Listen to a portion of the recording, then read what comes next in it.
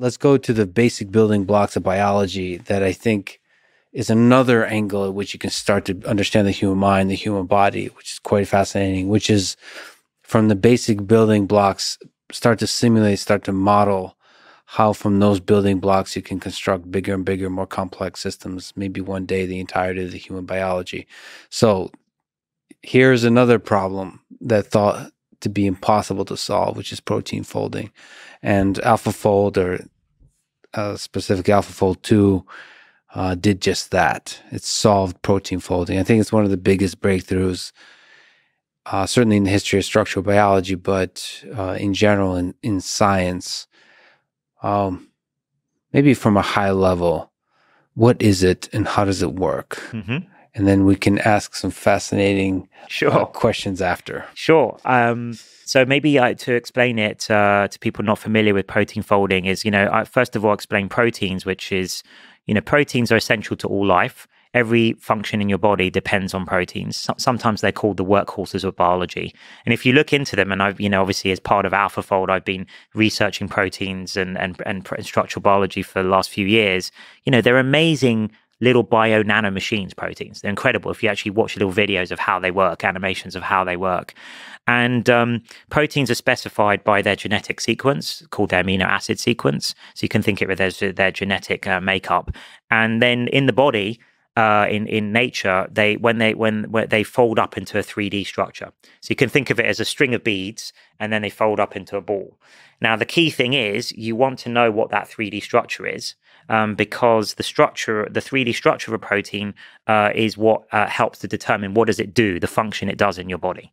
Uh, and also, if you're interested in drug, drugs or, or disease, you need to understand that 3D structure because if you want to target something with a drug compound uh, about to block something the protein's doing, uh, you need to understand where it's going to bind on the surface of the protein. So obviously, in order to do that, you need to understand the 3D structure. So the structure is mapped to the function. The structure is mapped to the function, and the structure is obviously somehow specified by the by the amino acid sequence. And that's the in essence the protein folding problem is can you just from the amino acid sequence, the one dimensional uh, string of letters, can you uh, immediately computationally predict the 3D structure. Right. And this has been a, a, grand challenge in biology for over 50 years. So I think it was first articulated by Christian Anfinsen, a Nobel Prize winner in 1972, uh, as part of his Nobel Prize winning lecture. And he just speculated this should be possible to go from the amino acid sequence to the 3D structure, but he didn't say how. So it, a, it I, I, you know, been, it's been described to me as, as equivalent to Fermat's last theorem, yeah. but for biology. Right? You, you should, as somebody that uh, very well might win the Nobel Prize in the future, but outside of that, you, you should do more of that kind of thing. In the margins, just put random things yeah, right, that will exactly. take like 200 years to solve. Set people off for 200 years. It should be possible. Exactly. And just don't give any details. exactly. I think everyone, exactly, it should be. I'll, I'll, have to remember that for future. So, yeah, so he set off, you know, with this one throwaway remark, just like Fermat, you know, he he set off this whole 50 year uh, uh, uh, field, really, of, of computational biology. And and they had you know they got stuck. They hadn't really got very far with doing this. And and um, until now until alphafold came along this is done experimentally right? Very painstakingly. So the rule of thumb is, and you have to like crystallize the protein, which is really difficult. Some proteins can't be crystallized, like membrane proteins. And then you have to use very expensive electron microscopes or X ray crystallography machines. Really painstaking work to get the 3D structure and visualize the 3D structure. So the rule of thumb in, in, in experimental biology is that it takes one PhD student, their entire PhD, to do one protein. Uh, and with AlphaFold 2, we are able to predict the 3D structure in a matter of seconds. Um, and so we were, you know, over Christmas, we did the whole human proteome, or every protein in the human body, all 20,000 proteins. So the human proteome is like the equivalent of the human genome, but on protein space. And, uh, and sort of revolutionize really what uh, uh, uh, structural biologists can do. Because now um, they don't have to worry about these painstaking experimentals, you know, should they put all of that effort in or not? They can almost just look up the structure of their proteins like a Google search.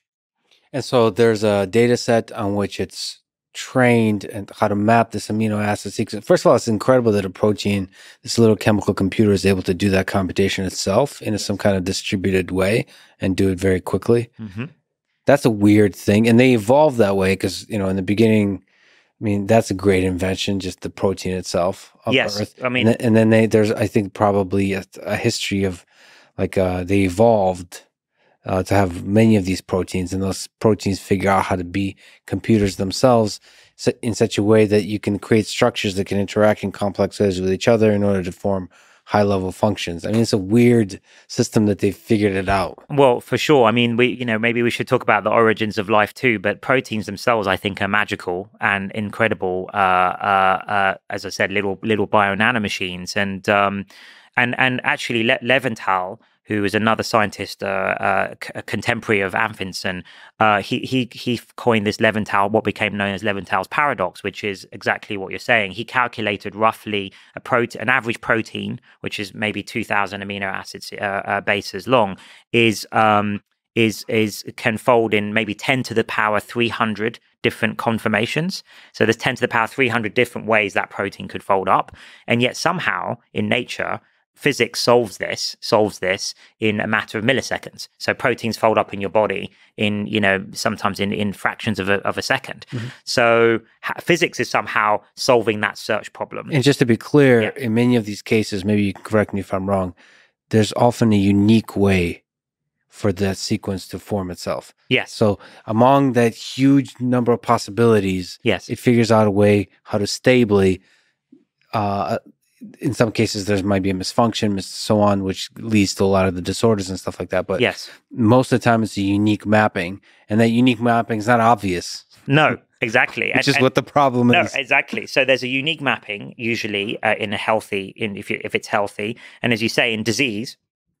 So, for example, Alzheimer's. One one one conjecture is that it's because of misfolded protein, a protein that folds in the wrong way, amyloid beta protein. So um, and then because it folds in the wrong way, it gets tangled up right in your in, in your neurons. So um, it's super important to understand both uh, healthy functioning and, and, and also disease is to understand uh, you know what what these things are doing and how they're structuring. Of course, the next step is sometimes proteins change shape when they interact with something. So um, they're not just static necessarily in in in biology.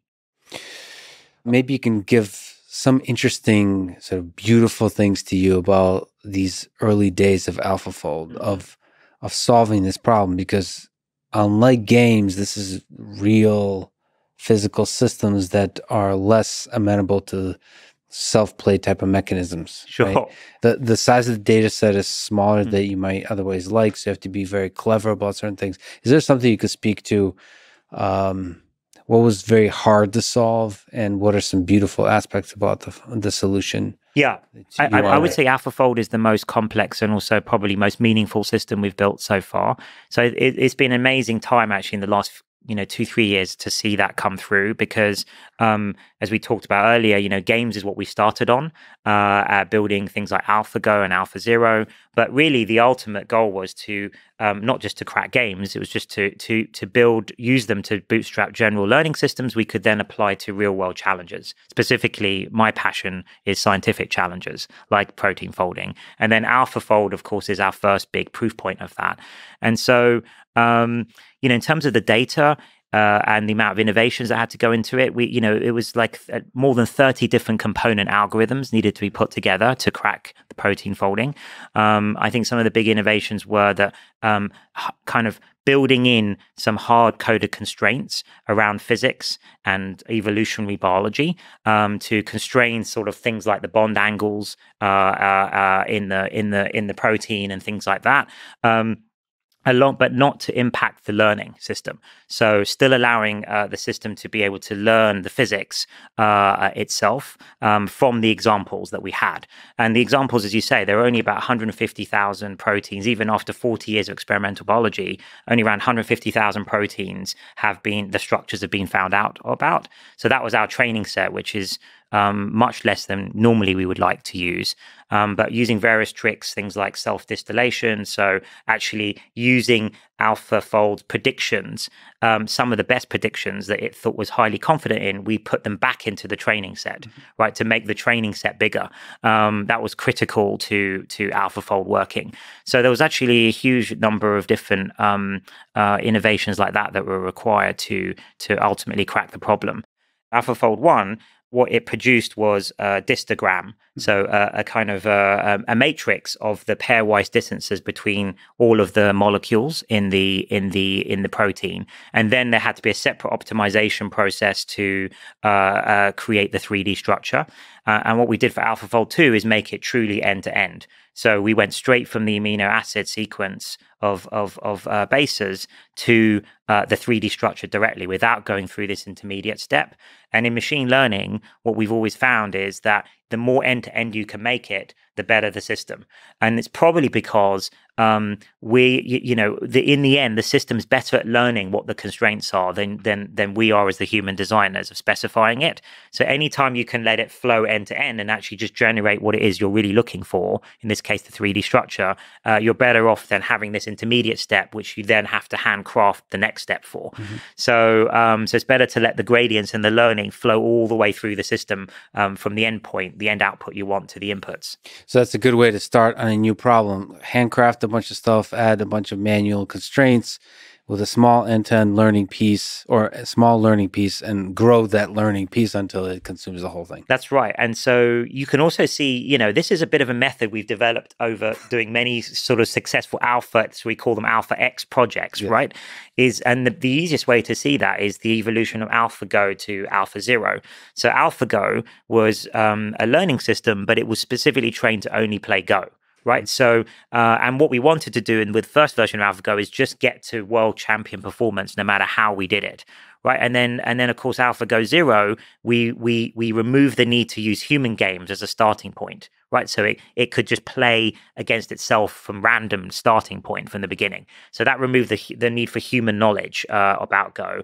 And then finally, Alpha Zero then generalized it so that any things we had in there, the system, including things like symmetry of the Go board, uh, were removed. So that Alpha Zero could play from scratch any two player game. And then Mu Zero, which is the final, our latest version of that set of things, was then extending it so that you didn't even have to give it the rules of the game. It would learn that for itself. So it could also deal with computer games as well as board games. So that line of AlphaGo, AlphaGo Zero, Alpha Zero, Mu Zero, that's the full trajectory of what you can take from uh, imitation learning to full self supervised learning. Yeah, exactly. And learning learning uh, the entire structure of the environment you're put in from yeah. scratch right? And and and and bootstrapping it uh, through self play uh, yourself. But the thing is, it would have been impossible, I think, or very hard for us to build Alpha Zero or Mu Zero first out yeah. of the box. Even so, psychologically, because you have to believe in yourself for a very long time. You're you're constantly dealing with doubt because yeah. a lot of people say that it's impossible. To, exactly. To so it was hard enough just to do Go, as you were saying. Everyone thought that was impossible, uh, or at least a decade away um, from when we when we did it in, back in 2015, 2014, uh, you know, 2016, and. Um, and so, yes, it would have been psychologically probably very difficult, as well as the fact that, of course, we learned a lot by building AlphaGo first right? So it's I think this is why I call AI an engineering science. It's one of the most fascinating science disciplines, but it's also an engineering science in the sense that unlike natural sciences, um, the phenomenon you're studying doesn't exist out in nature. You have to build it first. So you have to build the artifact first, and then you can study how how uh, uh and pull it apart and how it works.